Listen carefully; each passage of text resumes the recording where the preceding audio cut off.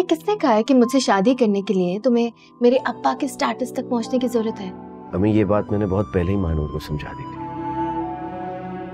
कि अगर उसके घर वाले इस रिश्ते से राज़ी होते हैं, तभी मैं अपनी अपनी को भेजूँगा, उसका हाथ मांगने वरना नहीं भेजूँगा।